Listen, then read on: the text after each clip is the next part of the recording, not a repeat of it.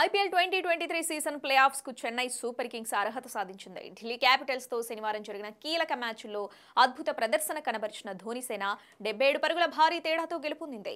ఈ విషయంతో టేబుల్ రన్నర్గా నిలిచిన చెన్నై సూపర్ కింగ్స్ క్వాలిఫైయర్ వన్కు కూడా అర్హత సాధించింది. మే ఇరవై నాలుగున గుజరాత్ టైటాన్స్తో చెన్నై వేదికగా జరిగే క్వాలిఫైయర్ వన్లో చెన్నై సూపర్ కింగ్స్ అమీతుమి తేల్చుకోనుంది. సొంత మైదానంలో క్వాలిఫైయర్ వన్ జరగడం ధోనిసేనకు కలిసొచ్చే అంశం. అయితే క్వాలిఫికేషన్ రౌండ్స్ ప్రవేశపెట్టిన రెండు వేల పదకొండు సీజన్ నుంచి గత పదమూడేళ్ళుగా ఐపీఎల్ పాయింట్స్ టేబుల్లో రన్నరప్గా నిలిచి జట్టు ఫైనల్ ఆడుతుంది ఇక ఈ సెంటిమెంట్ రిపీట్ అయితే ధోని సేన కూడా ఫైనల్ చేరనుంది. రెండు వేల పదకొండు సీజన్లో టేబుల్ రన్నరప్గా నిలిచిన చెన్నై ఫైనల్ చేరింది.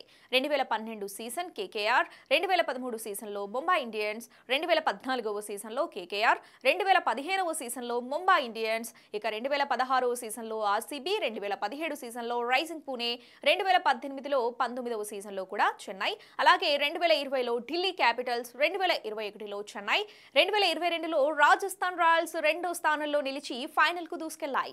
మరో విషయం ఏంటంటే టేబుల్ రన్నరప్గా నిలిచి ఫైనల్ చేరిన ప్రతిసారి చెన్నై సూపర్ కింగ్స్ ఛాంపియన్గా నిలిచింది.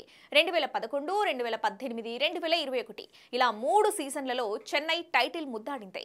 ఇక కేకేఆర్ రెండు వేల పన్నెండు రెండు వేల పద్నాలుగులో ముంబై ఇండియన్స్ కూడా టేబుల్ రన్నరప్గా ఫైనల్ చేరి టైటిల్ను ముద్దాడాయి.